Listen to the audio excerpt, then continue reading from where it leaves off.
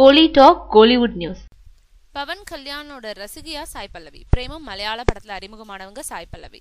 அதே படத்துல மடோனா செபாஸ்டியன் அனுபமா பரமேஸ்வரன் மேலும் இரண்டு நடிகைகள் அறிமுகமான போதும் மலர் என்கிற டீச்சர் வேஷத்தில் நடிச்ச சாய் பல்லவி தென்னிந்திய அளவில் பெருவாரியான ரசிகர்களை கவர்ந்தாங்க. அதை அடுத்து அவங்கள தேடி பல படங்கள் போன போதும் அவசர கதியில படங்களை ஓகே பண்ணி நடிக்காம நல்ல கதையா தேடி பிடிச்சு இப்போ தெலுங்குல வருண் தேஜுக்கு ஜோடியா பிதான்ற படத்துல நடிச்சிருக்காங்க. இந்த படத்தை நயன்தரன் நடிச்ச அனாமிகா படத்தை இயக்குன சேகர் கமுலா இயக்கியிருக்காரு.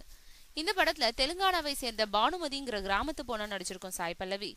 பவன் கல்யாணோட ரசிகையா வராங்களா மேலும் சாய் பல்லவிக்கு தெலுங்கு மொழி சுத்தமா தெரியாதுன்ற போதும் அந்த படத்துல தன்னோட கேரக்டருக்கு தானே டப்பிங் பேசியிருக்காங்க. சாய் பல்லவியின் மீது பெரிய எதிர்பார்ப்பை ஏற்படுத்தியிருக்கும் இந்த பிதா படம் ஜூலை மாதம் இருபத்தி ஓராம் தேதி வெளியாகுது.